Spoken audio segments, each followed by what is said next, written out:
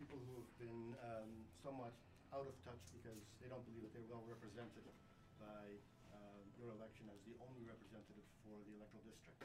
Right. So the petition here is to ask that um, Parliament look at the voting systems that are in place today, to evaluate them to see whether or not they're actually fair for representation, um, to possibly select a, an alternate method of selecting um, politicians, uh, members of Parliament, so that the outcome of Parliament is representative of the proportion of people that actually vote for those parliamentarians.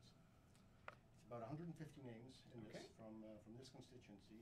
There are many other names from other constituencies that we also have, but we'll pass those on to the um, representatives for those electoral districts. Very good. So I'd like to uh, take these uh, names Okay. and present this to Parliament with the request as um, stated at the top of the Very good. there.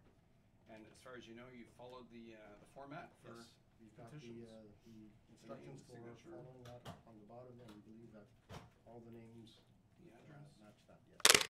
Very good. Thank you. for Do we know how Dropping many, that how off. many names were actually s-